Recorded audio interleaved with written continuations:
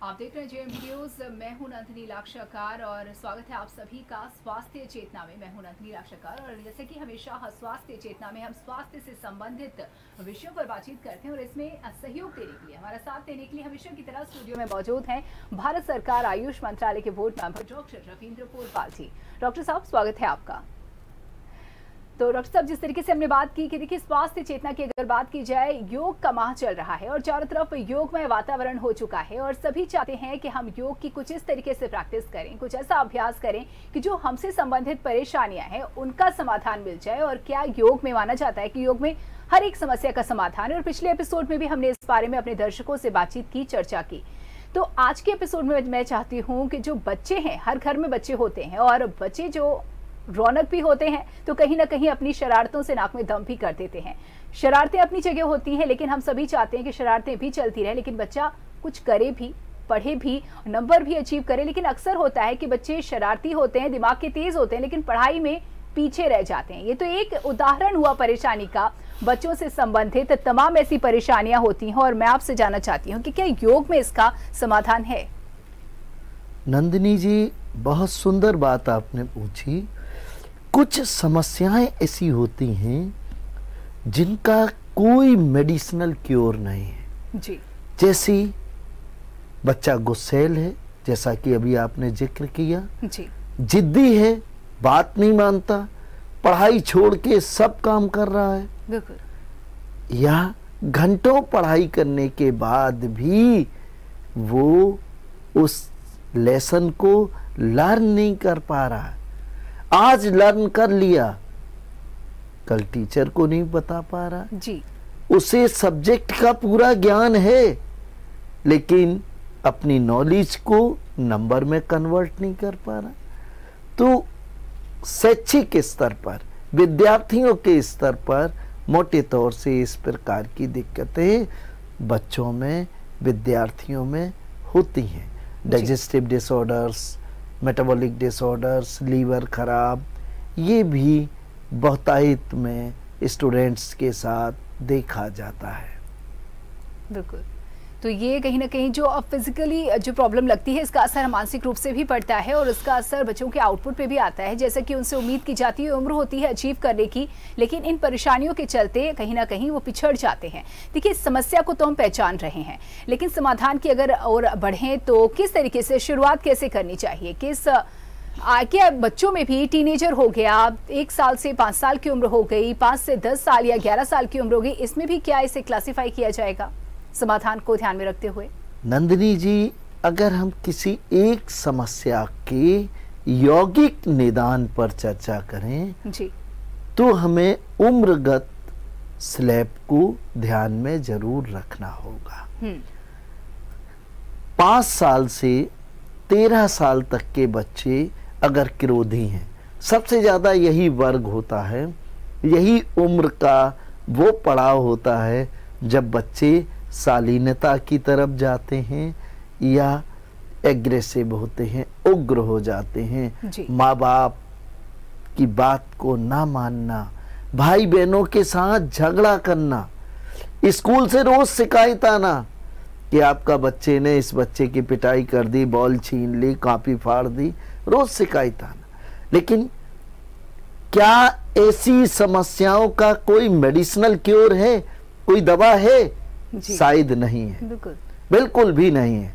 लेकिन योग की कृपा से योग की साधना से योग की शरण में जाकर अगर हम चार से दस मिनट रोज बच्चे को यौगिक आसनों का अभ्यास कराएँ तो एक सप्ताह में ही उतना बड़ा परिवर्तन आता है उतना बड़ा फ़र्क आता है कि जो उम्मीद पेरेंट्स रखते हैं उन पेरेंट्स को ये होता है कि जल्दी से जल्दी मुझे आराम मिल जाए।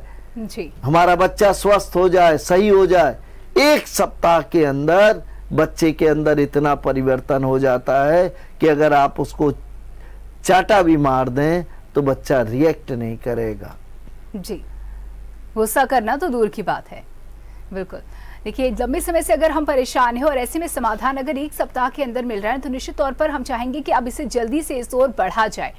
गुस्से की ही बात कर ली जाए, तमाम ऐसी परेशानियाँ हैं पड़ रहा है, याद नहीं हो रहा, यानी कि दिमाग कमज़ोर है, मेमोरी का प्रॉब्लम है, गुस्सा बहुत कर रहा है, या फिर अब बाकी चीज़ों में बहुत शरारती है, लेकिन अब पढ़ाई के मामले में एकदम कह सकते हैं कि फिसड्डी साबित हो रहा है। तो तमाम ऐसी परेशानियाँ और सिलसिलेवार हम इन पर बात करेंगे। सबसे पहले गुस्से की बात आपने की तो गुस्सा अगर बच्चे में बहुत ज़्यादा है तो इसे कम करने के लिए किस तरीके के यौगिक अभ्यास की सलाह देंगे आप नंदिनी जी यौगिक आसनों में मैं चर्चा कर रहा हूँ पाँच साल से तेरह साल के आयु वर्ग के बच्चों की।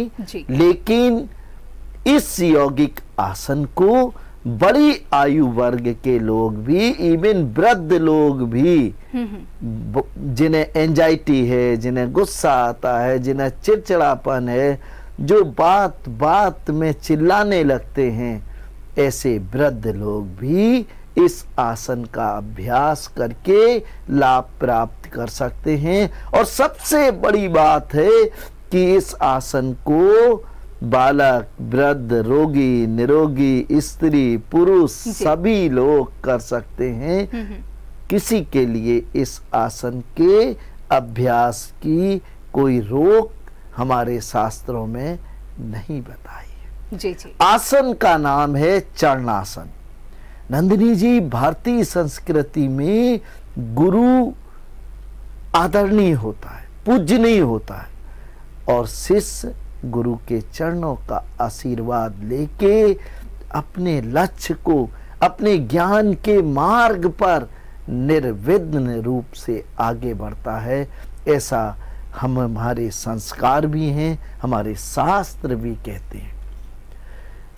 यौगिक आसन, चरणासन से ही गुरु के चरणों की वंदना का वंदना करने का जो रास्ता है वो लिया गया है। क्योंकि योग का मार्ग अति प्राचीन है। भगवान शिव ने स्वयं योग के मार्ग को बताया था। इसलिए योग का मार्ग बहुत प्राचीन है जिन्हें वर्षों में व्यक्त नहीं किया जा सकता। इंसान के जन्म के साथ ही ये भगवान शिव ने धरती पर दिया। जी यानी कि अति प्राचीन है बिल्कुल। हाँ, बहुत प्राचीन है। अब इस आसन को चरणासन को दो तीन चीज़ें बताना चाहूँगा नंदिनी जी। पहली चीज़ चरणासन ही नहीं कोई भी आसन हो आप सौ में सौ प्रतिशत जो शास्त्रोक्त तरीका है उस तरीके को सीख कर गुरु से सीख कर उस आसन का अभ्यास करें। जी। आसन में ये नहीं चलता आधा सही आधा गलत हम्म, हम्म। थोड़ा कर लिया थोड़ा फ़ायदा। अगर थोड़ा कर लिया तो फ़ायदा ज़ीरो। केवल आपकी मस्कुलर एक्सरसाइज का लाभ मिलेगा। आसन का जो मूलभूत लाभ मिल रहा है आसन व्यायाम नहीं है। आसन तो हमारे शरीर और मन मस्तिष्क के लिए शक्ति देते हैं ताकत देते हैं उसको दीर्घायु बनाते हैं। तो आसन सौ प्रतिशत सही होना चाहिए। बहुत से लोग आसन को आधा गलत आधा सही करके लाभ की उम्मीद पूरी करना करते हैं जो पूरी नहीं होती है। दूसरा जी। आसन घंटों नहीं करना है। हम्म, हम्म। आपके लिए जो ज़रूरी आसन है वो आसन आप एक मिनट दो मिनट तीन मिनट के लिए कर लीजिए। आप एक एक मिनट के दो बार कर लीजिए, तीन बार कर लीजिए। चरणासन शालीनता लाने वाला आसन है। ये वो आसन है जो गुस्सा कम करता है। हैप्पी हार्मोन्स के सिक्रीशन को बैलेंस करता है। ये वो आसन है जो हमारी विवेक शक्ति को बढ़ाता है। नंदिनी जी, यहाँ मैं एक बात स्पष्ट करना चाहता हूँ अगर आपकी अनुमति हो। जी। जैसे बच्चा बुद्धि का बहुत तेज है। हम्म, हम्म। बच्चा दिमाग के काम करता है। कुर्सी का बोल्ट खोल देगा कस देगा माने टेक्निकल उसका ब्रेन पूरी तरह सक्रिय है बहुत दिमाग का तेज। जो दूसरे बच्चे काम नहीं कर पा रहे हैं वो, वो करता कर लेता बिल्कुल। लेकिन पढ़ाई नहीं कर रहा। लड़ाई कर रहा है। पढ़ाई की जगह लड़ाई कर यानी कि एनर्जी है उसको गलत जगह पे वो जा रही है। बस। अब यहाँ क्या है कि उसके पास ब्रेन तो है लेकिन विवेक कम है। इस विवेक को जागृत करने को ही आज के युग में एलोपैथिक चिकित्सा कहते हैं हैप्पी हार्मोन्स के सिक्रेशन को बढ़ा दिया उदासी कम हुई अप्रसन्नता कम हुई खुशियाँ आई और व्यक्ति की सोचने की क्षमता में वृद्धि हुई। मैं कहता हूँ कि यही विवेक है। हमारे पास बुद्धि है और विवेक का अभाव है। चरणासन बुद्धि और विवेक दोनों स्तर पर एक एक कमी एक एक समस्या को पूरी तरह निर्मूल करके जीवन को अच्छा बनाने वाला यौगिक आसन है। और ये आसन त्वरित फल देने वाला आसन है। नंदिनी जी आप कोई दवा खाएँगे तो दो चार दिन में उसका असर आएगा। जी। पहले दिन से चरणासन का फ़ायदा दिखने लगता है और सप्ताह भर में तो इतना फ़र्क पड़ता है कि माँ को ही लगने लगता है। कि बहुत देर से सही लेकिन सही मार्ग मिला। बगैर पैसा खर्च किए हुए हमारे बच्चे के अंदर इतना परिवर्तन आ गया। बिल्कुल चरणासन का- जी जी। चरणासन का अभ्यास पाँच से आठ साल तक के बच्चे को एक मिनट तक कराएँ। आठ साल से तेरह साल तक के बच्चे को दो मिनट कराएँ। लेकिन बच्चा बहुत ज़्यादा एग्रेसिव है, बहुत हाइपर है। थामे नहीं थमता, गुस्सा कर रहा है, दाल फेंक दे रहा है। माँ को अपशब्द कह रहा है, लड़ने को, झगड़ने को तैयार है, छोटे भाई बहनों के साथ मारपीट कर रहा है। उस स्थिति में हमें भी अपने विवेक को जागृत रख के उचित निर्णय लेना होगा। हमें क्या करना चाहिए कि सुबह और शाम दोनों वक्त एक एक मिनट दो दो मिनट जितनी शारीरिक क्षमता उस बच्चे की है उस शारीरिक क्षमता के हिसाब से उस यौगिक आसन चरणासन का अभ्यास प्रातःकाल भी खाली पेट कराएँ और रात में डिनर से पहले करा दें। जी। फिर आप देखिए कितना फ़ायदा मिलता है। बिल्कुल। तो देखिए अक्सर ये होता है कि जो ये तो बात हो गई गुस्से को लेकर के, और देखिए, समय ज़्यादा नहीं देना है, लेकिन नियमित रूप से करना है, और इसका लाभ बहुत मिलने वाला है। आपने ये भी बता दिया कि एक मिनट कितना और दो मिनट कितना, यानी कि आयु के हिसाब से इसका प्रयोग करना है, इसको अपनी जीवन शैली का हिस्सा बनाना है। अगर बात की जाए, बच्चों की मेमोरी का भी बड़ा प्रॉब्लम होता है, डॉक्टर साहब, वो पढ़ते हैं, उन्हें याद नहीं होता। और कहीं ना कहीं याद ना होने की वजह से वो डीमोटिवेट हो जाते हैं। उन्हें लगता है कि तो हमारे बस का है ही नहीं। हालाँकि थोड़ी और मेहनत करें तो सफलता हासिल की जा सकती है। तो डीमोटिवेट होने से पहले ही अगर कोई समाधान मिल जाए तो क्या बताएँगे? नंदिनी जी बहुत सुंदर बात आपने पूछी। कुछ बच्चे खूब मेहनत करते हैं। मैं एक उदाहरण देना चाहता हूँ। जी। हमारे परिचित एक परिवार है। उसकी एक बच्चे ने बहुत मेहनत किया बहुत मेहनत किया लेकिन लक्ष्य को पा नहीं पाया। उस बच्चे ने जिन बच्चों को पढ़ाया वो बच्चे पीसीएस हो गए पीपीएस हो गए जी। और दो बच्चे सिविल सर्विसेज़ में चले। हम्म, और वो खुद अनेक बार पीसीएस का एग्ज़ाम देने के बाद भी सफल नहीं हो पाया। जी। उसके ब्रेन में कोई कमी नहीं। कमी क्या होती है? नंदिनी जी उसने पढ़ लिया। हम्म, हम्म, उसके ब्रेन में इस कंप्यूटर में सब कुछ फ़ीड है। लेकिन ये फ़ीड जो किया गया है मेमोरी कार्ड में ये चीज़ वक्त पर जब हमें ज़रूरत है जब हमें उसकी आवश्यकता है तो ये यहाँ से ओपन हो जाए और हमारे सामने सब चीज़ क्रिस्टल क्लियर हो जाए। याद आ जाए कि चार महीने पहले हमने ये सब्जेक्ट पढ़ा था ये ये ये ये ये इसका जवाब है। जी। बस यही चीज़। हम पढ़ते तो खूब है। खूब पढ़ाई कर रहे हैं लर्न भी कर लिया। लेकिन पाँच दिन बाद पूछो तो बताएँगे रिवाइज कर लेने दीजिए। जी। एक महीने बाद पूछिए तो बताएँगे पढ़ा था एक दो दिन रिवाइज करने की ज़रूरत। ऐसा योग के साधक के लिए ये नियम लागू नहीं होता। ये सामान्य विद्यार्थियों के लिए है। योग का साधक, योग का विद्यार्थी तो एक बार पढ़ लिया, इस कंप्यूटर के मेमोरी कार्ड में वो चीज़ फ़ीड हो। जब आवश्यकता है वो, तभी वो चीज़ सामने आ जाएगी और उस बच्चे का जो नॉलेज है वो नंबर में बदलेगा या कॉम्पिटिटिव एग्ज़ाम दे रहे हैं तो वो कॉम्पिटिटिव एग्ज़ाम को सहजता से क्वालिफाई कर लेगा। जी। अब क्या बात है? कौन सा आसन करना है? ये भी बताना नंदिनी जी ज़रूरी है क्योंकि आसन तो चौरासी लाख है। जी।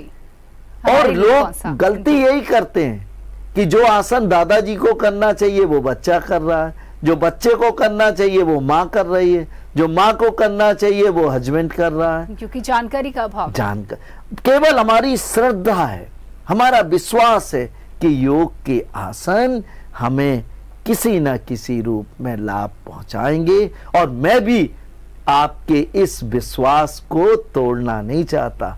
आसन निश्चित रूप से लाभ पहुंचाते हैं लेकिन अगर आपकी शारीरिक और मानसिक ज़रूरत की पूर्ति करने वाले आसन का आप अभ्यास करें तो उसका लाभ त्वरित फल आपको मिलेगा और आप जीवन की दौड़ में दूसरों से आगे निकलेंगे। जी। इस आसन का जितनी समस्याएँ हमने अभी ज़िक्र किया नंदिनी जी सुप्त नौकासन।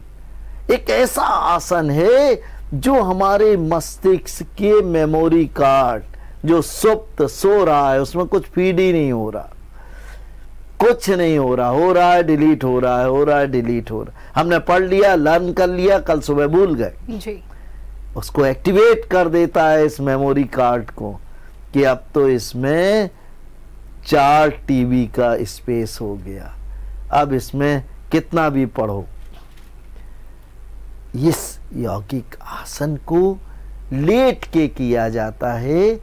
सुप्त नौकासन ऐसा आसन है मस्तिष्क के उन केंद्रों को जो सुप्तावस्था में चले गए थे उनको एक्टिवेट करता है आपकी आत्मविश्वास को कॉन्फिडेंस को बढ़ाता है और हमारी जो सुषुम्ना नाड़ी होती है रीढ़ की हड्डी के अंदर जो एक सबसे महत्वपूर्ण नाड़ी है, उसका नाम है सुषुम्ना नाड़ी, जिसको स्पाइनल कॉर्ड बोलते हैं।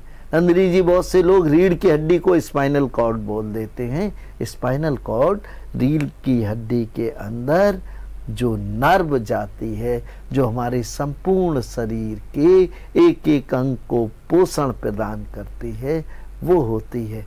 और ये यौगिक आसन पूरी सुषुम्ना नाड़ी स्पाइनल कॉर्ड और उसकी ब्रांचेज को। पुष्ट करता है शक्ति देता है। समय की अगर बात की जाए तो कितना समय इसमें आयु के हिसाब से आप कहेंगे कितने मिनट की इसकी प्रैक्टिस होनी चाहिए?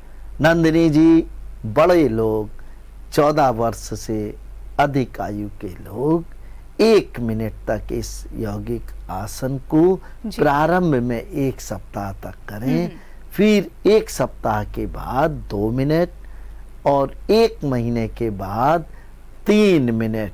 ये बड़े ये- लोगों के लिए। बड़े लोगों के लिए। लेकिन यहाँ ये कहना चाहता हूँ अगर इस आसन का पूरा फ़ायदा लेना है तो एक सावधानी रखें कि ये आसन जब भी करें तो एक ही बार में ज़्यादा से ज़्यादा समय तक रुकने की कोशिश करें। जी जी। कुछ लोग क्या होता है तीन मिनट करना है तो तीस सेकेंड रुके धम्म से वापस आ गए। ब्रेक नहीं करना है बीच में और एक हाँ। बार में करना है लेकिन यहाँ हमें एक ब्रेक के लिए रुकना होगा। कहीं में जाइएगा चल लौटेंगे ब्रेक के बाद आप सभी का एक बार फिर से स्वागत है। स्वास्थ्य चेतना देख रहे हैं आप और आज के इस कार्यक्रम में हम प्रयास कर रहे हैं योग के माध्यम से बच्चों से संबंधित जो परेशानियाँ हैं, शारीरिक हो या मानसिक हो, इन्हें दूर करने का। तो डॉक्टर साहब, जिस तरीके से आप लगातार देखिए, समस्या का समाधान हमें दे रहे हैं, हमें पहुँचा रहे हैं, समाधान की ओर आगे बढ़ते हुए अगर बात की जाए, देखिए गुस्से को लेकर के हमने बात की, हमने आत्मविश्वास को लेकर के बात की, हमने जिस तरीके से बात लगातार कर रहे हैं, लेकिन एक समस्या और भी है बच्चों में, जो उनके व्यक्तित्व के विकास में कहीं ना कहीं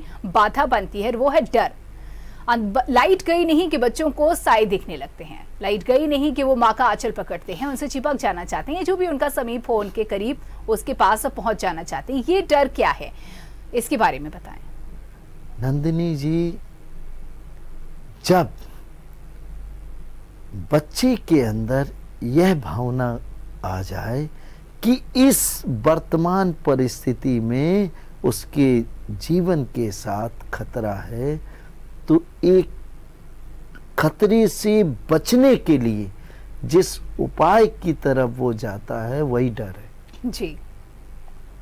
बहुत सुंदर। डर खतरा नहीं है। खतरे से बचने का रास्ता डर है लेकिन डर को सही लोग समझते नहीं। अब इस समस्या का डर का भय का संबंध हमारे कॉन्फिडेंस से जी। नंदनी जी अगर हमारा कॉन्फिडेंस लेवल कम होता है हमारा आत्मविश्वास कम होता है तो हमारे अंदर डर पैदा होता है भय पैदा होता है। एक योद्धा होता है युद्ध करने के लिए जब जाता है नंदिनी जी तो उसके अंदर बहुत कॉन्फिडेंस होता है। आत्मविश्वास कूट कूट कर भरा होता है और वो दूसरे किसी योद्धा को चाहे उससे ज़्यादा पराक्रमी हो उससे ज़्यादा वीर हो वो डरता नहीं है। वो कहता आओ मैदान में हम आपको धूल चटाएँगे। लेकिन कहीं ना कहीं बचपन का जो प्रभाव होता है वो व्यक्तित्व पर पड़ता ही पड़ता है। और बचपन में हम ये देखते हैं कि बच्चे नॉर्मल है, सामान्य है एकदम, लेकिन समय के साथ साथ आत्मविश्वास में कमी आने लगती है। आजकल जिस तरीके से स्कूलों में बहुत इस शब्द का इस्तेमाल हो रहा है चाइल्ड बुलिंग को लेकर के चाहे वो इंटरनेट पर हो या स्कूलों में बच्चे परेशान करते हैं तो उसके बाद बच्चे का जो आत्मविश्वास एक सामान्य बच्चे का आत्मविश्वास कम होने लगता है धीरे धीरे और फिर वो सामान्य से ज़्यादा डरने भी लगता है तब उसमें ये सिम्टम्स बढ़ जाते हैं। तो क्या इन दोनों ही समस्याओं का समाधान एक ही है? इसके बारे में क्या कहेंगे? नंदनी जी दोनों एक दूसरे से को रिलेटेड बिल्कुल इसीलिए मैंने समाधान बिल्कुल। जी। सबकी जड़ में यही है कि बच्चे का कॉन्फिडेंस लेवल कम है उसका आत्मविश्वास काम है। हमें उसको बढ़ाना है। जी। और नंदिनी जी ये आत्मविश्वास बढ़ाने के लिए लोग दुनिया भर की दवाई खाते हैं। कुछ लोग तो डिप्रेशन में चले जाते हैं। जी। और मानसिक रोगी समझ के उनका इलाज शुरू हो जाता कॉन्फिडेंस लेवल कैसे बरकरार जो अभी मैंने आपको चर्चा की नंदिनी जी की बहुत से लोग कॉन्फिडेंस कॉन्फिडेंस लेवल गिरने पर अस्वस्थ हो जाते जी हाँ।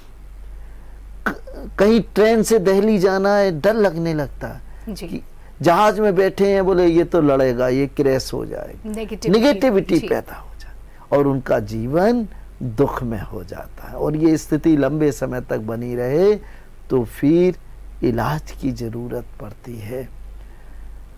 मैं एक ऐसा यौगिक आसन बताना चाहता हूँ जो केवल बच्चों को ही नहीं, बड़े उम्र के विद्यार्थियों के लिए दिमाग का काम करने वाले लोग, डॉक्टर्स चार्टेड अकाउंटेंट या इंजीनियर, जो लोग खूब दिन भर दिमाग का काम करते हैं और उन्हें कॉन्फिडेंस लेवल किसी कारण से गिर जाता जी। तो कॉन्फिडेंस लेवल बढ़ाने के लिए एक आसन जिसका एक से दो मिनट के बीच में शारीरिक क्षमता को ध्यान में रखकर अभ्यास करना चाहिए और इस आसन का नाम है उत्कट सिंहासन। जी। तीन तरीके के सिंहासन नंदिनी जी हमारे शास्त्रों में बताए गए हैं। कुछ इम्यूनिटी को बढ़ाने वाले हैं। टॉन्सलाइटिस या काफ या खांसी या रनिंग नोज़ जैसी समस्या को ठीक करने में उपयोगी होते हैं। लेकिन उत्कट सिंहासन तो गर्जना करने वाला आसन है। सिंह की गर्जना करने वाला, इतना कॉन्फिडेंस बढ़ाने वाला आसन है साथ ही साथ ये हमारे लीवर और पेंक्रियाज को बहुत ताकतवर बनाता है। नंदिनी जी जब किसी का लीवर स्ट्रांग होता है मज़बूत होता है तो वह बड़े बड़ी काम कर डालता है। इसका कहीं ना कहीं कॉन्फिडेंस से हमारा रिलेशन होता है। और गाँव में या पुराने लोग एक कहावत भी कहते हैं जब कोई दुबला पतला व्यक्ति किसी पहलवान को पटक देता है या कोई बड़ा काम कर डालता है तो कहते भाई जिगर वाला इंसान है। जी, ये जी. तो जिगर वाला इंसान देखिए जिगर का कॉन्फिडेंस जिगर माने लीवर। जी. से बहुत गहरा रिश्ता है। और उत्कट सिंहासन। हमारे कॉन्फिडेंस लेवल को बढ़ाने के साथ साथ हमारे जिगर हमारे लीवर को भी शक्तिशाली बनाता है। हमारे पाचन संबंधी दोषों को सुधार के हमें शारीरिक रूप से सशक्त और मज़बूत बनाता है, हमारी इम्यूनिटी को बूस्टअप करता है। और फिर अंत में जो इसका सबसे बड़ा फ़ायदा है कि एक कॉन्फिडेंस लेवल को, हमारे आत्मविश्वास को भरपूर मात्रा में बढ़ा है बिल्कुल, देखिए, चर्चा चल रही है और बहुत ही सुंदर ये चर्चा और बहुत ही सरल शब्दों में आप हमारे दर्शकों को समझा रहे हैं। मैं उम्मीद करती हूँ कि इन्हें इसका पूरा लाभ मिलेगा, वो इसका पूरा फ़ायदा उठाएँगे। देखिए, अब तक तो बात हुई समस्या पर और उसके समाधान को लेकर के। लेकिन बात अगर की जाए कि कैसा घर में अगर बच्चा है जो अभी उसमें किसी भी तरह की दिक्कत नहीं है, मुश्किल से उसकी उम्र एक से तीन साल के बीच की है या पाँच साल शुरुआती दौर है यानी कि। तो क्या प्रैक्टिसेस उसे करवाई जा सकती है जिससे उसके व्यक्तित्व का सर्वांगीण यानी कि कंप्लीट विकास हो। नंदिनी जी बहुत से परिवार ऐसे हैं जिनकी अटूट श्रद्धा भारतीय संस्कृति में है। योग योग के आसन प्राणायाम और ध्यान में अटूट विश्वास है श्रद्धा है। जी। लेकिन और वो चाहते हैं कि हमारे बच्चे बचपन से ही योग में हाँ। हो जाएँ आरोग्य में रहें बच्चे बीमार ना पड़ें दीर्घ जीवी हो। लेकिन वो बहुत बार तीन साल के बच्चे को सूर्य नमस्कार शुरू कर देते हैं। जी। सूर्य नमस्कार श्रेष्ठतम सूर्य नमस्कार से अच्छी भगवान सूर्य की साधना कोई नहीं है। और भगवान सूर्य की साधना से पूर्ण आरोग्यता प्राप्ति के लिए फल देने वाला इससे अच्छा कोई यौगिक क्रिया नहीं। लेकिन तीन वर्ष के बच्चे के लिए ये उपयुक्त नहीं है। पाँच साल के बच्चे के लिए ये उपयुक्त नहीं है। जी। पाँच साल से अधिक आयु के बच्चों को इसका अभ्यास करना चाहिए। पाँच साल के बच्चे को तीन साल के बच्चे को हमें यौगिक सूक्ष्म क्रियाओं की तरफ़ जाना चाहिए। आसन पाँच वर्ष से अधिक आयु के बच्चे करें पाँच वर्ष से कम आयु के बच्चों को लिए यौगिक सूक्ष्म क्रिया। जी। सूक्ष्म के चूँकि बच्चे के डेवलपमेंट का पीरियड है हर छह महीने में उसका विकास इतना हो जाता है कि पैर की चप्पल छोटी पड़ जाती है। जी। तीन साल तीन से साढ़े तीन साल का बच्चा हुआ चप्पल छोटी हो गई। माने उसका डेवलपमेंट हो रहा। ऐसे समय एक एक सेल को एक एक कोशिका को मन मस्तिष्क की हो चाहे शरीर के आंतरिक अंगों की कोशिकाएँ हो उनको सशक्त और मज़बूत बनाने के लिए हमें यौगिक सूक्ष्म क्रियाओं की मदद लेनी होगी और सबसे पहली और सबसे हितकारी क्रिया है प्रार्थना। जी। बच्चे को नमस्कार की मुद्रा में 30 सेकंड के लिए आँख बंद करके बिठा दें। और उसको केवल इतना कहें कि आप भगवान को स्मरण करें और भगवान से अपने लिए, अपनी माँ के लिए, अपने फादर के लिए, अपने भाइयों के लिए जो मांगना चाहते हैं मांगे। देखिए, अगर ऐसी बगैर उद्देश्य के बच्चे को प्रारंभिक रूप में आप आँख बंद करके हाथ जोड़ के बिठा देंगे, नहीं बैठेगा। तीस सेकंड नहीं बैठेगा। आँख खोल देगा, खुजली करने लगेगा, उठ जाएगा। लेकिन अगर आपने कहा कि आप ऐसे आँख बंद करके बैठेंगे प्रार्थना करेंगे तो हमें परिवार के सदस्यों को वो फल मिलेगा। वो बच्चा तीस सेकंड की जगह एक मिनट बैठ जाए। और यही एक मिनट की एकाग्रता यही एक मिनट की स्थिरता उसके समग्र विकास का एक बहुत मज़बूत सहारा बनेगा बहुत मज़बूत स्तंभ बनेगा। बिल्कुल देखिए बहुत ही तो, महत्वपूर्ण बात ये आपने बताई। हमारे दर्शकों को शुरुआती उम्र में किस तरीके से हमें योग की ओर जाना है ये पहला चरण इसे कह सकते हैं। जी दूसरा दूसरा स्टेप बताना चाहता हूँ। एक बहुत महत्वपूर्ण यौगिक क्रिया होती है जो बच्चे दो साल का बच्चा भी आराम से कर लेगा पाँच साल का भी आराम से कर लेगा। आप कुछ मत करिए। बच्चे को खड़ा करिए और एक पैर ऊँचा कर दीजिए ज़मीन से उठा दीजिए। जब एक पैर पे बच्चा खड़ा होगा तो बैलेंस बिगड़ेगा। बस यही बैलेंस वो जितना बेहतर तरीके से बना लेगा यही उसकी एकाग्रता है यही स्थिरता है। लोग नंदिनी जी ध्यान के लिए मारे मारे घूमते हैं ध्यान की शरण में जाना चाहते हैं। जरा सा निगेटिविटी आई डिप्रेसिव मोड पे गए बस ध्यान की शरण में जाते हैं। लेकिन जाने के बाद लाभ कुछ नहीं मिलता है क्योंकि वो डायरेक्ट सातवें सोपान पर जाते हैं। भगवान पतंजलि ने योग के आठ सोपान बताए। आप सीधे जंप कर रहे हैं सातवें पर। कैसे उसका लाभ मिलेगा? नहीं मिलेगा। आप सरल प्रयोग बच्चों से लेके बड़े तक आप एक पैर को ऊँचा कर दीजिए। जी। एक पैर के सहारे जैसे दो पैर हैं ये एक पैर ऊँचा कर दिया। देखिए नंदिनी जी ये ये दो पैर से खड़े जी जी। एक पैर ऊँचा कर दिया। ये ऊँचा कर दिया एक पैर। देखिए। ये ऊँचा कर दिया। अब ऐसे बैलेंस गड़बड़ाएगा शरीर गड़बड़ाएगा लेकिन 30 सेकेंड ऐसे बच्चे को रोकने के लिए कहिए।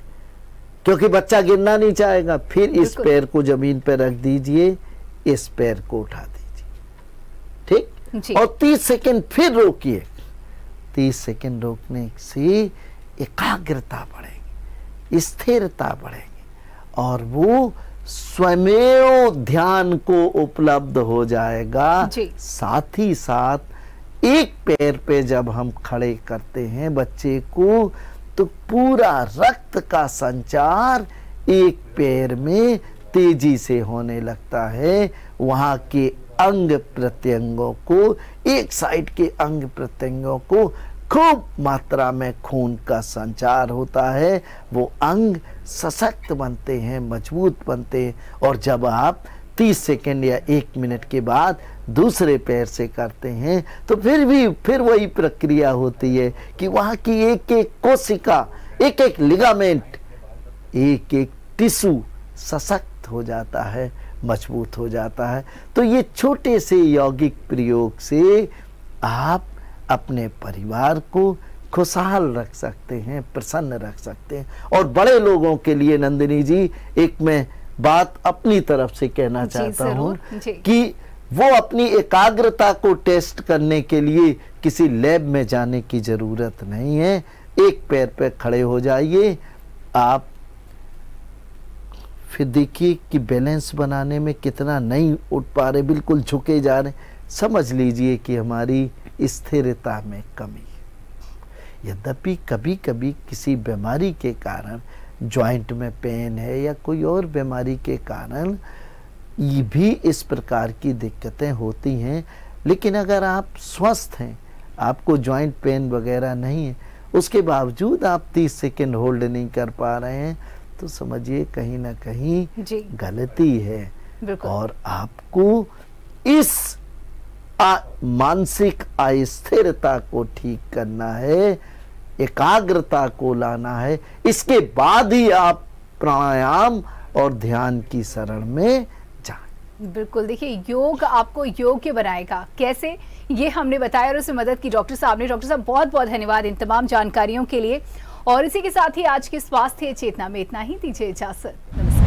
अगर आपको हमारा वीडियो पसंद आया हो तो हमें लाइक करें सब्सक्राइब करें और ज़्यादा से ज़्यादा शेयर करें। और हाँ बेल आइकॉन दबाना ना भूलें, ताकि हर खबर का अपडेट आप तक पहुँचे तुरंत। आप हमें इंस्टा ट्विटर और फेसबुक पर भी फॉलो कर सकते हैं। हमारी आईडी है at the rate J M D news flash